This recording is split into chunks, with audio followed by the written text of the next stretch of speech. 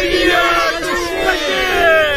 वादी कश्मीर के शहर आफाक सयाती मकाम सोनमर्ग में जहाँ इन दिनों गैर मकामी सयाहों की एक बड़ी तादाद ताज़ा बर्फबारी और कुदरती मनाजिर से लुफानंदोज हो रही है वही दूसरे सयाती मकाम भी सयाह खूब जमा हुए हैं वादी में कड़ाके की ठंड होने के बावजूद भी इन सयाहों में काफ़ी जोश व खरोश देखा जा रहा है और इनमें से जो पहली बार कश्मीर आए हैं वो यहाँ के सैरंगेज खूबसूरती को देखकर बहुत खुश हो रहे हैं गोरखपुर से आने वाली एक सयाह ने वैली ऑनलाइन के साथ बात करते हुए कहा मैं पहली बार कश्मीर आई हूँ और यहाँ की खूबसूरती को लफ्जों में बयान नहीं कर सकती। उन्होंने कहा, हम नया साल मनाने के लिए यहाँ आए हैं। जो मेरी बचपन की ख्वाहिश थी, वो इस साल ख्वाहिश पूरी हो जाएगी।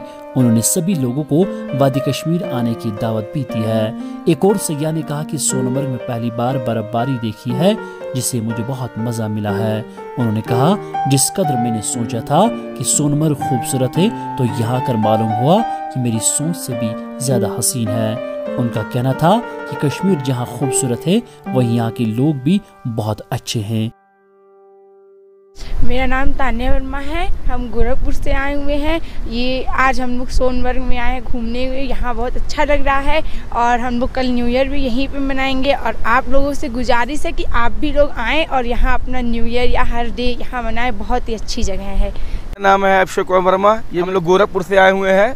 कब आए थे? ये हम लोग को आए हुए लगभग एक हफ़्ता हो गया है लेकिन पहली बार इधर आए हुए हैं और हम लोग को बहुत अच्छा लगा यहाँ पर आके जैसे लग रहा है हम लोग जन्नत में है मतलब मैं कुछ बयान नहीं कर सकता जुआ से बहुत बहुत अच्छा लग रहा है। काफ़ी अच्छी जगह है बहुत ही अच्छा लगा यहाँ पर आकर।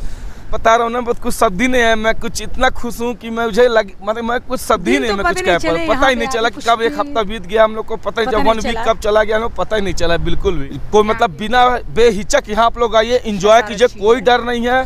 बहुत ही अच्छी जगह है। मतलब जिस तरह से मुझे बताया गया था कि यहाँ पे ये ऐसी घटना होती है लेकिन ऐसा मैंने एक हफ़्ता से रह रहा हूँ मुझे कोई किसी प्रकार का भय नहीं लगा किसी डर नहीं लगा। अब बहुत ही अच्छी जगह है। मैं अपने दोस्तों से यही कहना चाहूँगा यहाँ बिंदास आइए घूमिए और यहाँ के लोग भी बहुत अच्छे हैं बहुत अच्छे रिस्पेक्ट भी देते हैं। ऐसी कोई बात नहीं है बिंदास लोग आइए घूमिए टहले कोई डर नहीं है एकदम। माई नेम इज़ स्नेहा मैं कश्मीर आई हूँ। मेरा न्यू ईयर भी कश्मीर से शुरुआत हो रही है। और ये सोनमार्ग जगह है, जो हेवन से कम नहीं है। और रिक्वेस्ट होगा, बाकी सब भी आवे और यहाँ पे बहुत इंजॉय करें। My name is Santosh. मैं बॉम्बे से आया हूँ, मुंबई सेंट्रल में रहता हूँ। ये कश्मीर एक बहुत अच्छा सिटी है और यहाँ सोनमार्ग में बहुत अच्छा लग रहा है हमको। हम आपसे गुजारिश करते हैं कि आप भी यहाँ पे आके एंजॉय कीजिए। बहुत अच्छा प्लेस है, बहुत अच्छा क्लाइमेट है, बहुत अच्छी जगह है ये।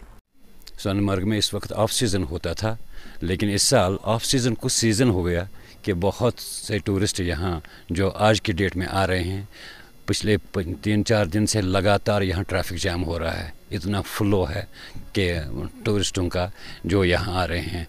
तो ले, लेकिन प्रॉब्लम यहाँ पे ये यह है कि यहाँ मैक्सिमम होटल खुले नहीं रहे। कि कुछ ही होटलों ने अपना कंटिन्यू किया है। तो जो बड़े बड़े चार पाँच होटल्स यहाँ है, उन्होंने कंटिन्यू किया, अभी तक वो कंटिन्यू कर रहे हैं। तो अगर गवर्नमेंट प्रॉपरली एश्योरेंस हमें दे जाते हैं इस चीज़ के इलेक्ट्रिसिटी की या रोड की या वाटर की तो शायद मुझे लगता है जो होटल बंद हो चुके हैं यहाँ पे, वो भी कंटिन्यू कर पाते। लेकिन उन्होंने शायद इसलिए नहीं किया कि उनको ये अनसर्टनटी रही कि पता नहीं पानी कब बंद होगा इलेक्ट्रिसिटी कब बंद होगी। खैर रिस्क तो उठाना बहुत ज़रूरी है। जब तक रिस्क नहीं उठाएँगे, तब तक कामयाबी नहीं मिलती है। तो हर चीज़ में रिस्क उठानी बहुत ज़रूरी है। हमने रिस्क उठाई है तो अल्लाह ताला ने अभी तक हमें कामयाबी दी है। इन हम उम्मीद करते हैं आगे भी हमें कामयाबी मिलेगी।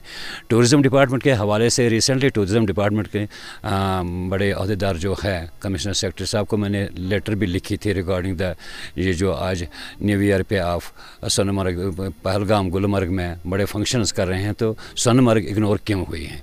तो उन्होंने उसका जवाब मुझे दिया नहीं है, लेकिन कि सोनमर्ग में ऐसा कुछ इवेंट होना, आज के दिन में होना बहुत ज़रूरी था कि अगर आज होता गवर्नमेंट की तरफ़ से कोई इवेंट यहाँ पे तो शायद यहाँ पे जितने भी गेस्ट रुके हुए हैं आलमोस्ट सारे जितने चार पाँच होटल्स खुले हैं, वो पैक है सारे तो वो गेस्ट्स एंजॉय करते हैं। और दिन में अगर जिस तरह उन्होंने गुलमर्ग में तीन बजे से पाँच बजे पाँच बजे तक रखा।